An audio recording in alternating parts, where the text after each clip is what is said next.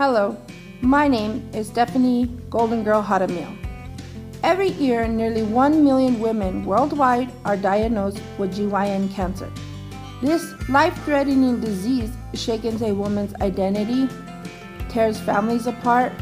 Every mother, wife, sister, friend, neighbor should know they're not alone.